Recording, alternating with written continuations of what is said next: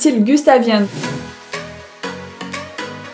Donc Sonia, dans les commentaires, tu parles d'un style gustavien. Alors c'est vrai que moi j'ai plutôt tendance à parler du style shabby mais euh, voilà, c'est un petit peu la même chose. On va retrouver énormément de blancs cassés, on va retrouver des meubles un petit peu chinés, un peu rough dans leur jeu. Donc c'est ce qui va apporter tout l'intérêt à ce style-là. Donc c'est un style assez floral où on va retrouver des motifs par-ci par-là, mais surtout des gravures sur du mobilier en bois. Donc voilà, Petite euh, présentation rapide du style gustavien. Donc moi je préfère le style euh, shabby chic, mais à vous de voir. Bon, il y a des légères euh, différences. Il y en a un qui est un petit peu plus floral pour le shabby chic. Le gustavien, on va être un petit peu plus sur des gravures, mais globalement, ça se ressemble beaucoup.